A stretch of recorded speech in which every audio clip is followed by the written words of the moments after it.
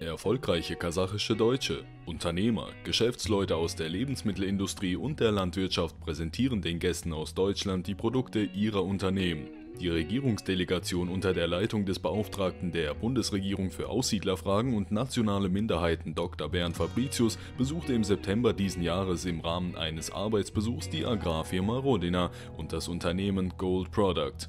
Seit 1994 wird die Agrarfirma Rodina vom renommierten Kasachstan-Deutschen Ivan Sauer geführt.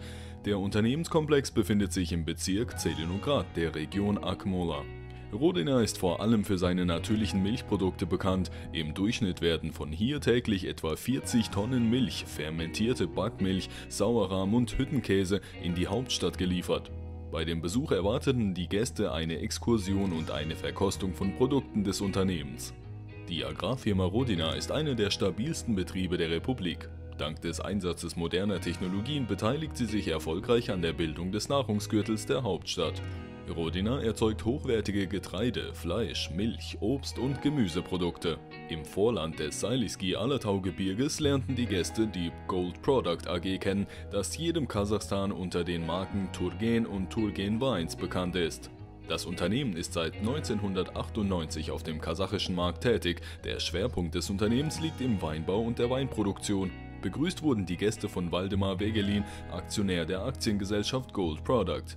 Vitali Walkow, Direktor des Unternehmens PK Turgen und der Generaldirektorin Tatjana Kalaczewskaja.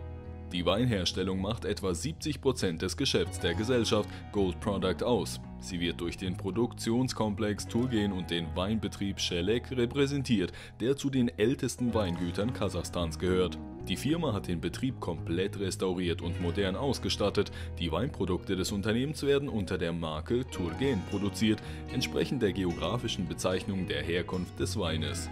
Wir möchten Sie auch daran erinnern, dass die Delegation am Arbeitsbesuch der Genehmigung des Jahresbudgets der Stiftung Wiedergeburt teilgenommen hat. Im Rahmen des Besuchs fand die 18. Sitzung der kasachisch-deutschen Zwischenstaatlichen Kommission für die in Kasachstan lebenden ethnischen Deutschen statt. Als Ergebnis des Treffens wurde ein gemeinsames Kommuniqué unterzeichnet. Ebenfalls in Nur-Sultan fand im September die feierliche Eröffnung des kasachisch-deutschen Zentrums statt. Die Regierungsdelegation besuchte das Deutsche Haus und lernte die kulturell-ethnische Gesellschaft der deutschen Wiedergeburt der Stadt Almaty kennen. Damit war der Besuch beendet. Wir hoffen, dass wir euch in Zukunft erneut über die Ergebnisse berichten können. Bis zum nächsten Mal.